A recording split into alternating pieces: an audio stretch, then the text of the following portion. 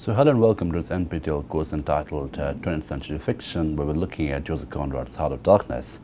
So from this lecture onwards we'll begin to wind up uh, with this particular text and having discussed the uh, salient and fundamental features that this text represents and its political importance along with the literary importance that it carries today.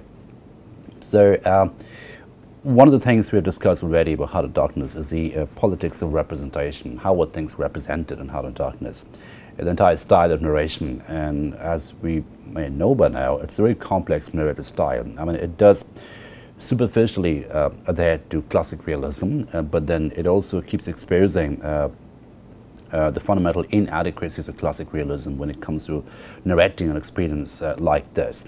And if you remember the last lecture, the point that we stopped, uh, where Marlowe was admitting his inability, he was sort of acknowledging and screaming uh, of the fact that you know he's unable to tell you the story, uh, and he kept asking the audience, "Do you see the story? Uh, can I tell you the story? Can I convey to you what really happened?" And of course, it was a rhetorical question because he knows very well that he, uh, he, he, can't do it. He can't convey completely what happens in Congo. And that we discuss how that was how it, the novel represents. It's sort of foregrounded uh, its um, you know, narrative inadequacies, and in that sense, it's a very quasi-postmodern novel, Heart of Darkness. So it's one of those novels which are almost everything. It's late Victorian, it's definitely modernist. It has lots of stream of consciousness technique, uh, and also seems to anticipate a lot of postmodern narrative style in terms of its uh, foregrounding of its narrative inadequacies and unreliability, which is sort of innately embedded uh, in that novel and which is connected to the whole sense of centerlessness that Heart of Darkness uh, foregrounds and dramatizes. So, you know, everything about Heart of Darkness is centerless. Uh, the narrative is centerless. Marlowe is the primary narrator, but then he's the first person to acknowledge his um, you know, uh, inability to narrate, his struggle to narrate. Uh, and then we have the characters who are quite centerless as well. There's a degree of hollowness about the characters as well. And we talked about how, in one of the lectures, if you remember, how the hollowness and Heart of Darkness, uh, it is the combination of spectrality and unknowability, right? So, and of course, uh, an example of exhaustion as well. So, it's exhaustion, unknowability, and spectrality all put together, which uh, constitutes the hollowness uh, in Heart of Darkness. Um, there is a degree of existential uh, exhaustion, there's a degree of idless exhaustion, there's no ideas left, there's nothing left uh, to salvage redeem. Uh, and what is foregrounded, what comes across very heavily, is a naked exploitative uh, machinery of imperialism. There is a completely naked enterprise. There's nothing you can dress up that with. Uh, there's no Christian narrative. There's no civilized narrative. Um, there is no missionary, a noble narrative that you can use to redeem the, the exploitative machinery of imperialism. Right? And that's something which Heart of Darkness does very well. And of course, we have to remember, and I have mentioned this already, and I'll repeat myself, that it's about Belgian imperialism. Right? It's not about British imperialism. It's Belgian imperialism in Congo. It's Belgians in the Congo. And the difference between the Belgian imperialism and the British imperialism was fundamentally that, that the Belgians never even attempted uh, to dress up imperialism as some kind of a civilized ambition. I mean, it was very, very nakedly evident that it was a machinery of exploitation. It was very explicit. Uh, there's nothing uh, that even uh, sort of tried to hide or conceal this exploitative phase of imperialism, right? So that's the setting that uh, Conrad is describing. That's the setting that Marlowe in the novel is inhabiting. Now, in this lecture, we'll start with Marlowe's first glimpse of Kurtz. Uh, how does he first see Kurtz? And again, we've seen already how uh, the novel is actually quite cinematic in quality. There's a lot of close-up technique, uh, and there's also a lot of defamiliarizing technique, right? So defamiliarization and delayed decoding of things, which we have discussed already. Uh, and both techniques, they contribute to the complex visual narrative in Heart of Darkness, the complex visual grammar in Heart of Darkness. And that's important for us to understand because, you know, the whole novel is narrated to us uh, to a certain focus point, a certain focalized point. And Marlowe is a focalized perspective, the focalized viewpoint through which we get to see what happened in the Congo. And of course, Marlowe's, uh, he's a very unreliable focal point, and that unreliability of Marlowe, it gets translated, it gets uh, accounted for in the novel as well, because the entire novel then becomes uh, very, very mysterious and cryptic. So we, as readers, we share the defamiliarization, the Marlowe experience. We share uh, the entire delay decoding the Marlowe experience. I mean, even we as readers, we can't quite decode uh, what happens in of Darkness. So that delayed decoding, that defamiliarization, uh, all that gets uh, spilled over uh, from Marlowe's experiential frame into the narrative frame that we inhabit. So the narrative frame in Heart of Darkness is one in which delayed decoding and defamiliarization are embedded, innately embedded. Okay, that's something which we keep saying as readers in Heart of Darkness. And I think I mentioned uh, one of my articles uh, on Heart of Darkness if you, if you wish to read more on uh, more complex arguments about delayed decoding, storytelling, and existential exhaustion. There's an article of mine which got published in a journal called Janus Head, which you can download for free if you just Google up my name. Uh, I have it uploaded in my academia.edu website, so you can download that from free. And if you still have problems downloading it, uh, do mention that in the NPTEL forum that we have uh, in this course, and my TAs can uh, upload it for you to read. Okay. Now let's take a look at the section which should be on the screen where Marlowe sees Kurtz for the first time and he's narrating the experience of seeing Kurtz for the first time. So this should be on the screen. I'm just going to read out the lines first. As to me, I seemed to see Kurtz for the first time. It was a distinct glimpse. Uh, the dugout, four paddling savages, and a lone white man turning his back suddenly on the headquarters. Uh, yon relief, yon on thoughts of home, perhaps setting uh, his face towards the depth of the wilderness, towards this empty and desolate station. Now, this particular phrase, I'm just going to pick up on this a little bit and expand on it. The lone white man turning his back suddenly on the headquarters. So this is a literal description, a physical description of Kurtz's physical movement, but this also becomes very quickly a symbolic movement. Right, so Kurtz is a lonely white man who turns his back suddenly on the headquarters. So he is basically what we call in spy fiction and spy cinema today, uh, a rogue agent, right? So someone who turns his back uh, on the machinery which had historically created him. Right, so Kurtz is one of the first examples in uh, British fiction uh, on rogue agents. So he's an agent of imperialism. He's someone which, uh, who imperialism constructed. So we're told over and over again that he was the finest soldier of imperialism. He was the finest uh, engineered product of imperialism. But this product, the soldier of imperialism, has now turned rogue, has now turned his back to the entire machinery which had historically created him. Uh, and now it's become a problem uh, to the machinery which had created him, and now the machinery has to get rid of him. So you can see how Heart of Darkness is such uh, interesting and deep resonance with some of the geopolitical tensions we have in the world today, where you know, great soldiers and great friends, great machinery suddenly become rogue, suddenly become terrorists. And the entire ontology of terrorism, the entire ontology of rogue agency uh, is something which is very complex because what that often means is uh, you create, the system creates a, a, a, body or a wing or an individual as for a particular purpose uh, to defeat the enemy, etc. And then at some point, historical time later, subsequent to that point, uh, the, that particular individual, that particular agency, that particular uh, wing, it turns rogue. It turns its back on the system which has created it, and now it's and then it's branded as a terrorist wing. So the entire idea of terrorism and rogue agency something which is obviously very geopolitically contingent. And Heart of Darkness seems to be one of the early novels which anticipates such geopolitical crisis. Right? So we have this uh, Belgian you know, colony in Congo, an outpost, uh, and Kurtz happens to be, uh, you know, this finest agent of the empire, the Belgian empire, who has now, uh, ironically, become a problem for the empire, has become a problem for the machinery, and so the machinery has to get rid of him. And if you take a look at the film based on this novel, Apocalypse Now, uh, which is about the Vietnam War, uh, American Vietnam War. There too, Colonel Kurtz, who's played by Marlon Brando, I think I mentioned this already, uh, he becomes a rogue agent uh, who has to be um, terminated, who has to be assassinated. Okay, so this particular image is very, very uh, you know, telling uh, and symbolic. The lone white man turning his back suddenly on the headquarters. Okay, so I did not know uh, the motive. Perhaps he was just simply a fine fellow who stuck to his work for his own sake. His name, you understand, had not been pronounced once. He was that man. So he becomes, in a way, uh, Kurtz becomes a center in of Darkness. But then once Marlowe arrives at the center, he finds Kurtz to be a hollow man. And this is obviously in connection to the hollowness of uh, the center in of Darkness, or the centerlessness in of Darkness, as you would put it. The half-caste, uh, who as far as I could see, had conducted a difficult trip with great prudence and pluck, was invariably alluded to as that scoundrel. The scoundrel had reported that a man had been very ill, so we get reports that Kurtz had been very ill, had recovered imperfectly. The two below the me moved away then a few paces and strolled back and forth at the same distance.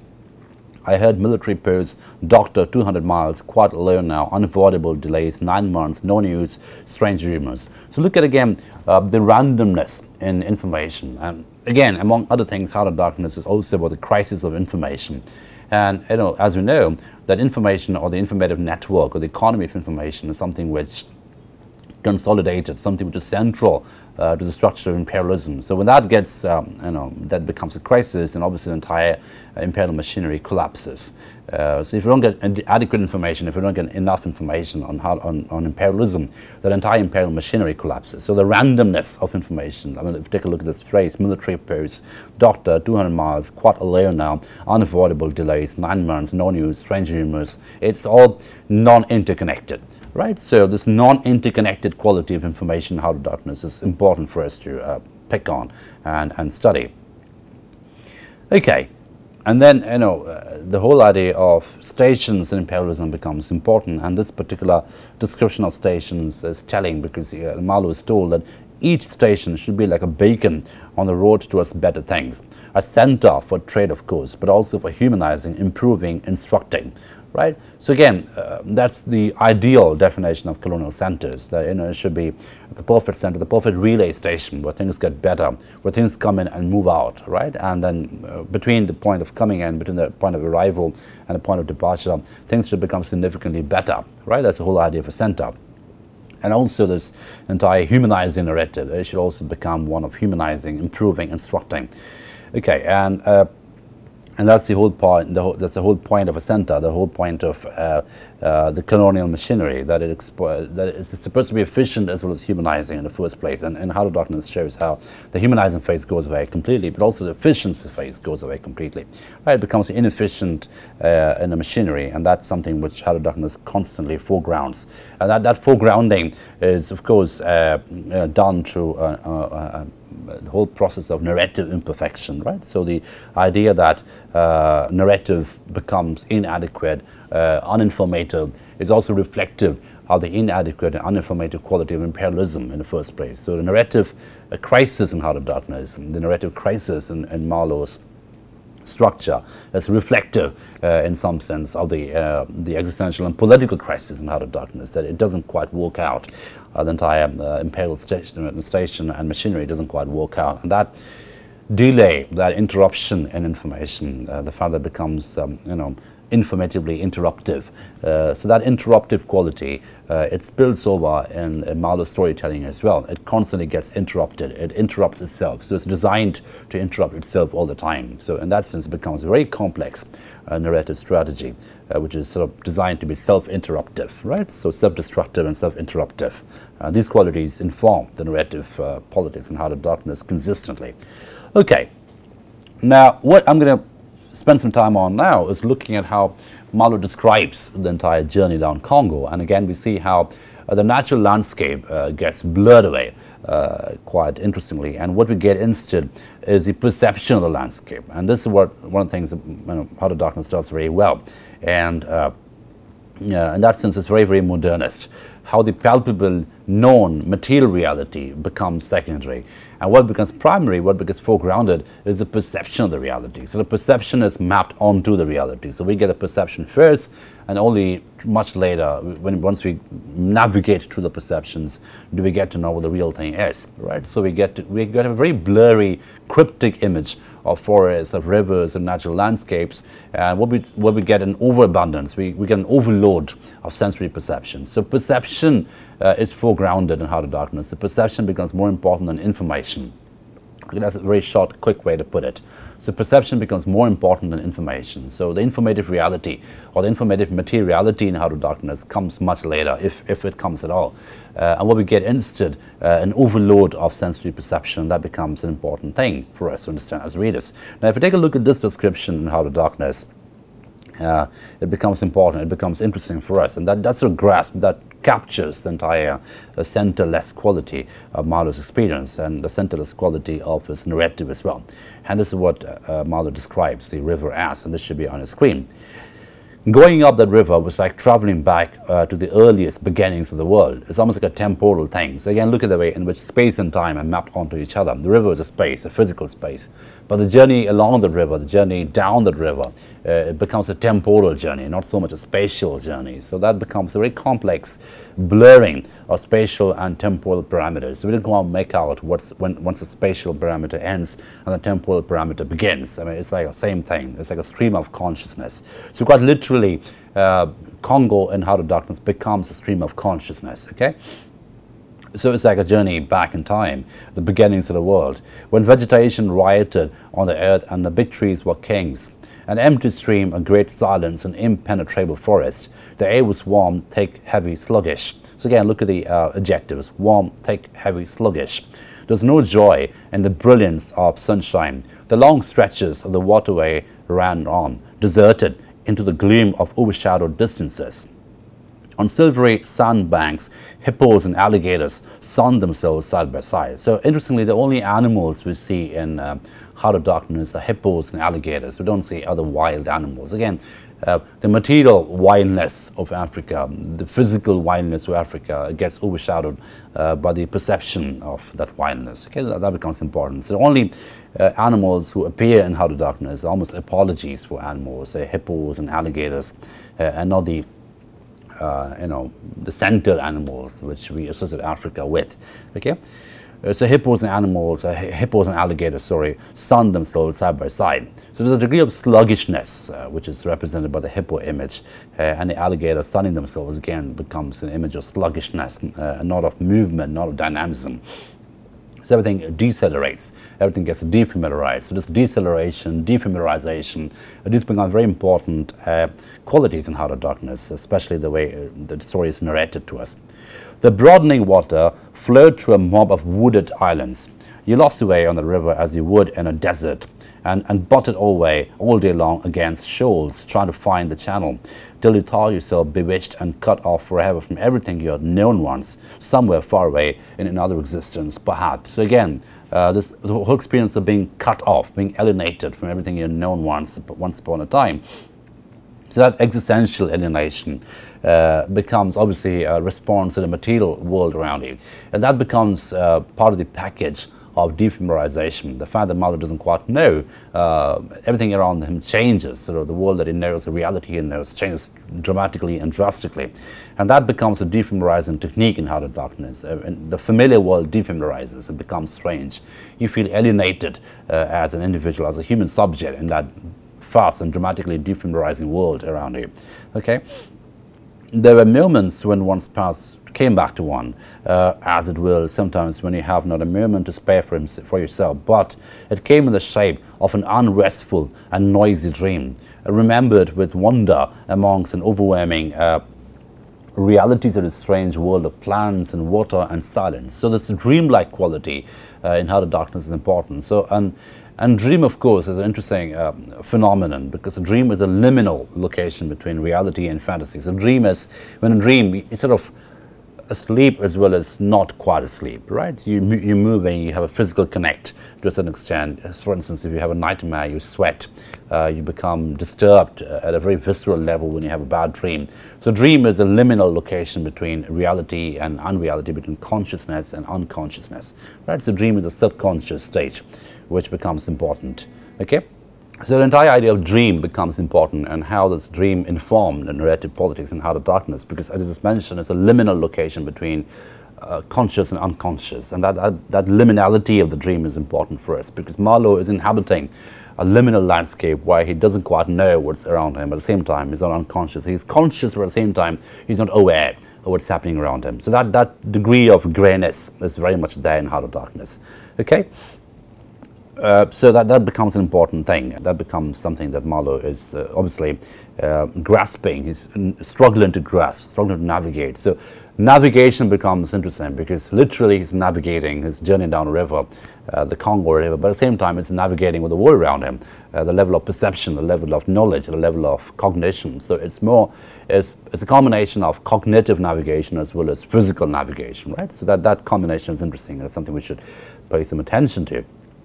Okay, so um, talks about, talks about the metaphysical reality of this uh, ex experience. And then he says, and this should be on the screen, when you have to attend to things of that sort, the whole idea of not knowing what, what's around you, that sort, to the mere incidents of the surface, the reality, the reality, I tell you, fades.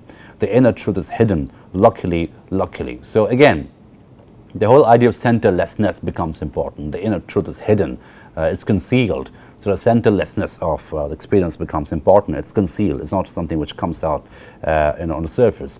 But I felt it all the same. I felt often this mysterious stillness watching me at my monkey tricks. Uh, just as watches you fellas performing on your respective tight ropes for what it is, a half crown, a tumble. So again, uh, and this is something which uh, is interesting because Mal, uh, Heart of Darkness in that sense is quite resonant, is quite interestingly located you know, and dialoguing with some of the PTSD uh, narratives that we have today. Like, for instance, if you take a look at a novel like Yellow Birds by Kevin Powers, which is about the Iraq War.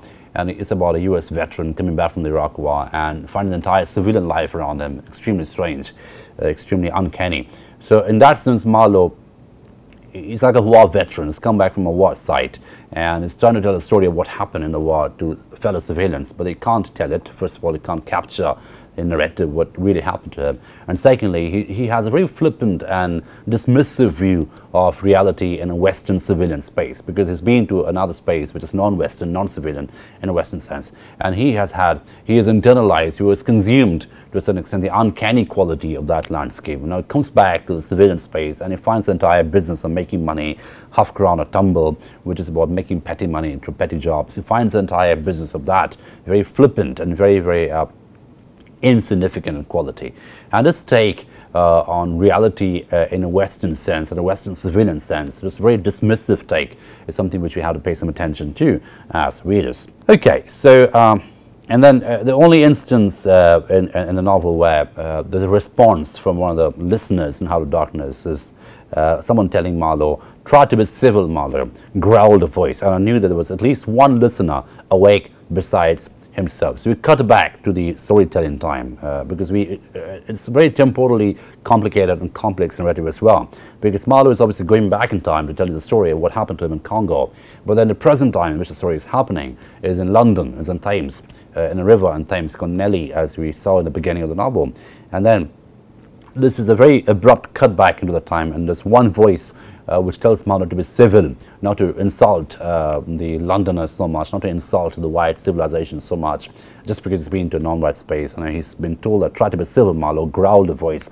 And I knew, and I obviously is an unnamed narrator, uh, the, the, the meta narrator in Heart of Darkness, as it were, because there are different levels in narration in Heart of Darkness. There's a meta narrator who's listening to Marlowe's story, and then it's Marlowe telling the story, and there's narrators inside Marlowe's story as well. Okay, so the meta narrator tells us there's another person awake. And uh, I knew that there was at least one listener awake besides myself, so at least one more guy is still up.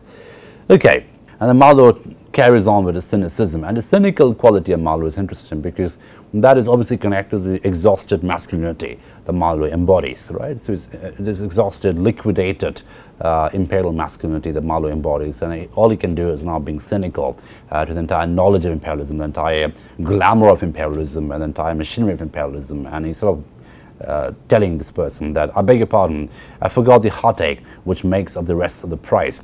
And indeed, what, uh, what does the price matter? The trick be well done. You do your tricks very well, and I didn't do badly either, since I managed not to sink that steamboat on my first trip. It's a wonder to me, yet. Imagine a blindfolded man set to drive a van over a bad road. And I like this image a lot. Uh, this is the reason why I'm picking on it.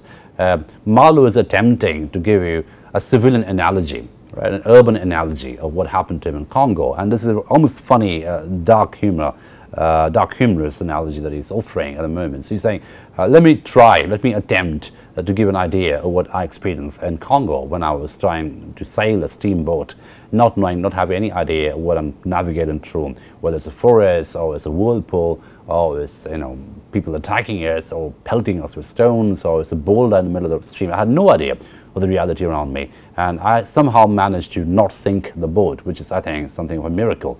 And then he's trying to capture that uh, with an analogy or convey that with an analogy that using uh, urban markets. And this is what he offers. Imagine a blindfolded man set to drive a van over a bad road. So if you're a Londoner, I'm giving you a London uh, urban marker. So imagine someone blindfolds you and asks you to drive up a van on, a bad road and you manage to do it without crashing it, without hitting something. So it was that kind of a miracle that I experienced in Heart of Darkness in Congo. I sweated and shivered over the business uh, considerably, I can tell you. Uh, after all, for a seaman to scrape the bottom of that thing that's supposed to float all the time under his care is an unpardonable sin. No one may know of it, but you can never forget a thump, a, a blow on the very heart. You remember it, you dream of it, and you wake up at night and think of it years after and go hot and cold all over. So he's saying, I'm a professional seaman. And the worst feeling you can get is your, your vessel hitting a surface, hitting the, the bank, hitting a stone. And that, that the sound is almost visceral in quality. Uh, it, it haunts you forever. It keeps coming back to you all the time. Okay. Uh, and now, again, I just want to spend some time on the whole idea of imperialism, the whole signifier of imperialism and Heart of Darkness, which in the case of Belgian imperialism in Congo is ivory. Because the whole idea of Belgian imperialism in Congo was the ivory trade, the fact that it was trading on ivory, uh, and of course that was shipped back uh, in massive proportions, in massive business, and it was sold in very high prices in, in Europe, and we saw then how the European domestic space is full of ivory. So ivory is a domesticated Africa. Uh, ivory is Africa turned into something which is consumable, something which has a price tag to it, something which is a privileged possession of the white people, right? So this is what uh, Marlowe, this is how Marlowe describes ivory over here. The word ivory would ring in the air for a while, and on we went again into the silence, uh, along empty reaches, around the still bends, between the high walls of a winding way, reverberating the hollow claps, reverberating in hollow claps, the ponderous beat of the stern wheel. So again, the centerlessness of the imperial signifier is important for us to understand. So it would just hang in the air like a hollow word, the word ivory. Uh, it'll ring in the air for a while and then we'll forget about it and move on uh, and you know we'll just consume the reverberations that will be around us all the time. The hollowness, the hollow sounds, the hollow claps in the ponderous beat of the stern wheel. So again, even the acoustic politics in Heart of Darkness is that of hollowness. It's not really solid sound. It's not really the sound of something solid ringing on. It's something uh, the lack of solidity, lack of centered, centered quality in Heart of Darkness is, spills over even in the acoustic frame, right? So even the acoustic frame Marlowe inhabits, the sound frame, the soundscape, so to say, uh, in Heart of Darkness, that too has hollowness embedded in it, okay? That becomes an important thing.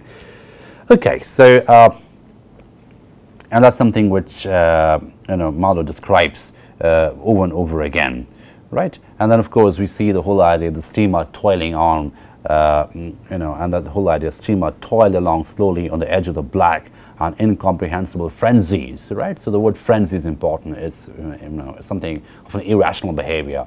And so, you know, if you take a look at the adjectives in Heart of Darkness, especially the ones which are used to describe Congo, uh, they're very exotic adjectives, of course, and that obviously betrays the uh, Eurocentric quality in Heart of Darkness and the racist quality in Heart of Darkness. It just completely essentializes Africa uh, as a dark continent, uh, as something which cannot be known, cannot be comprehended, cannot be grasped reality.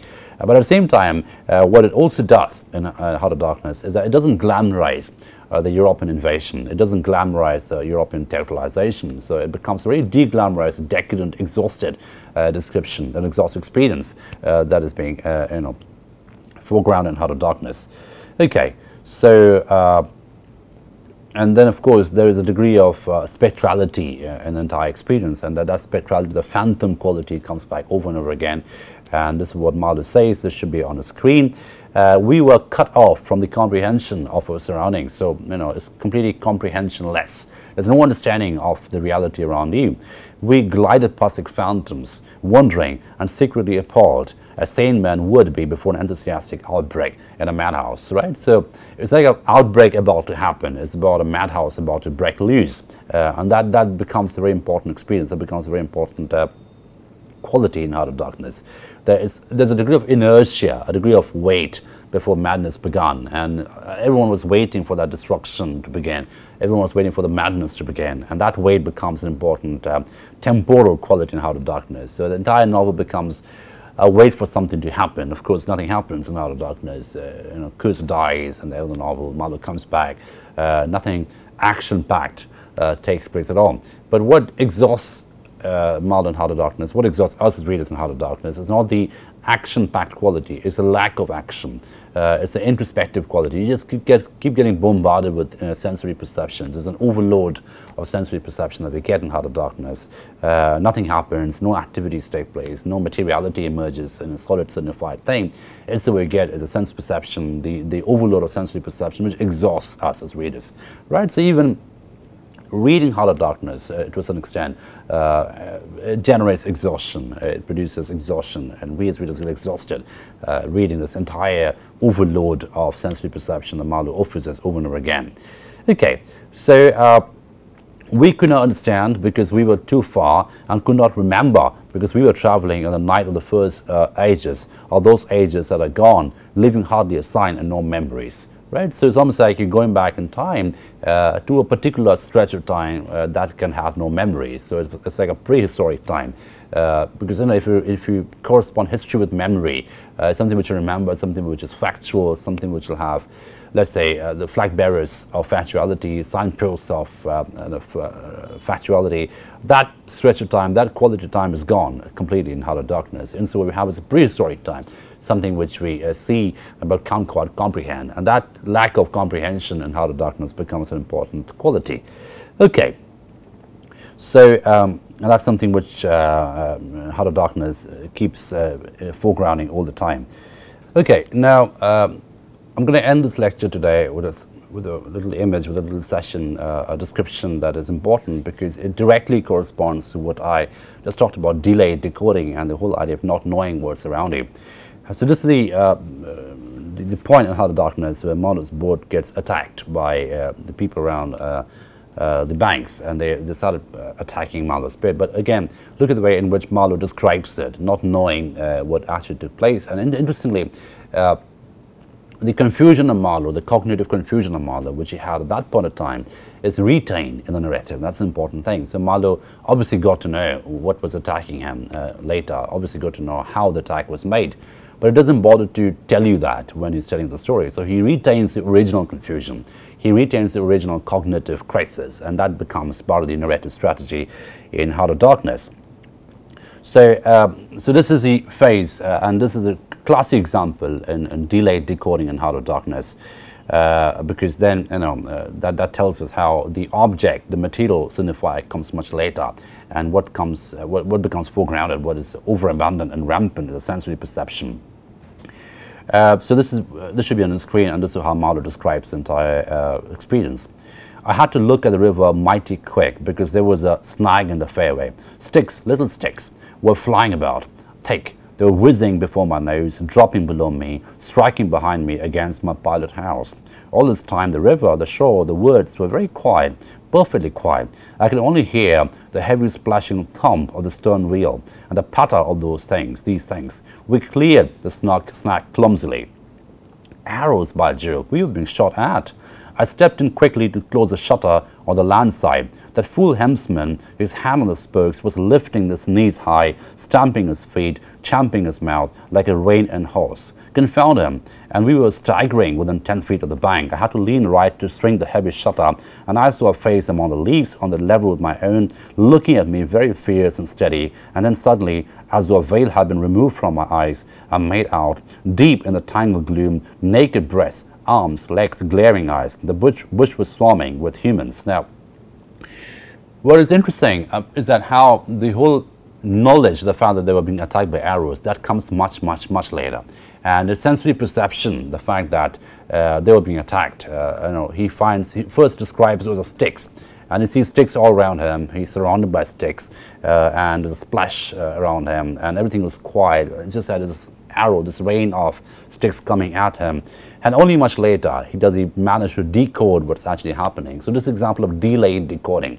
So by delayed decoding, what, what Marlowe does and what Conrad does, obviously, as, as a writer, is that he gives you the sensory perception, the cognitive confusion, and only much later, as you navigate through the confusion, do you get to know what actually is happening. So this point, when Marlowe says, arrows by Jove, we are being shot at, that's the arrival of knowledge, arrival at knowledge. He arrives at the knowledge that we're being attacked by arrows.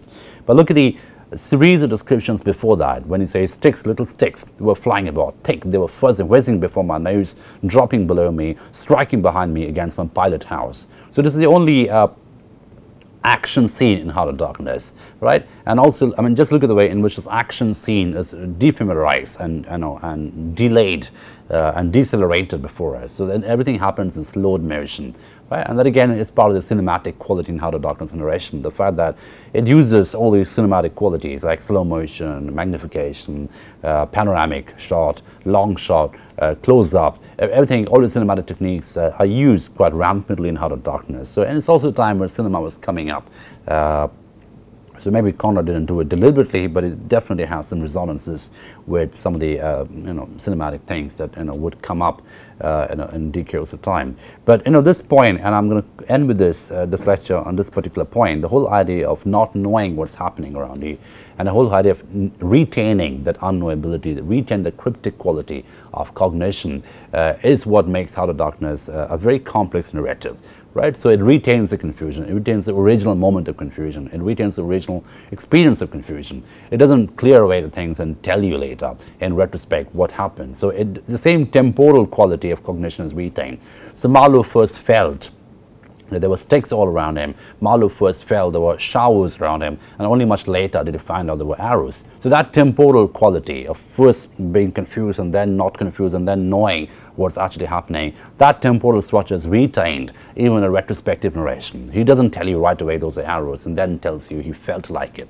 So he gives it a feeling first, just like he did, just like experience it. And that authenticity of experience is something which Heart of Darkness does quite well. It maps the original experience into the retrospective narrative. So the original experience is mapped. It's something that's foregrounded. It doesn't. Uh, it doesn't get. It doesn't do away with that at all. So that originality of experience, uh, the authentic original experience, is mapped onto the retrospective narration, which is something the of Darkness does quite well. And then he says, he gives a very graphic description of uh, quote unquote African bodies, naked African bodies. Uh, and then he says it was a human limbs in movement, glistening of bronze color. So again, these are very problematic descriptions. It's obviously essentializing and commodifying and reifying and objectifying the African body uh, as any white man would at that point of time. But also what makes it interesting is the fact that it doesn't really look at the body as an evil body. It doesn't really look at the body as something which is completely, uh, you know, uh, evil or you know, wicked uh, completely. So that evil quality, the wicked quality is actually attributed to the white body, the white um, you know, the civilization as well. The twigs shook, swayed and rustled, the arrows flew out of them and the shutter came to. Steer her straight, I said to the helmsman. He held his head rigid, face forward, but his eyes rolled. He kept on lifting and, and setting down his feet gently. His mouth foamed a little. Keep quiet, I said in a fury. I might just as well have ordered a tree not to sway in the wind. I darted out. Below me was a grave scuffle of feet on an iron deck. Confused exclamations. A voice screamed, Can you turn back? I caught sight of a V-shaped ripple on the water ahead. What, another snag? So again, uh, look at the way in which everything gets confused. A snag coming up. There's a whirlpool coming up. You can see a V-shaped thing coming up in the water, which means it's either, either whirlpool or a snag. A fusillade burst out under my feet. The pilgrims had opened with their Winchesters, so they started firing as well, the white pilgrims. Uh, and there was simply squirting lead into that bush. A deuce of a lot of smoke came out and drove slowly forward. I swore at it. Now I couldn't see the ripple or the snake either. I stood in the doorway, peering, and the arrows came in swarms, so they, they're constantly being uh, shot at. They might have been poisoned, but they looked as though they, couldn't, they wouldn't kill a cat. The bush began to howl. Our woodcutters raised a warlike whoop. The report of a rifle just at my back deafened me. A glance over my shoulder, and the pilot house was yet full of noise and smoke when I made a dash at the wheel.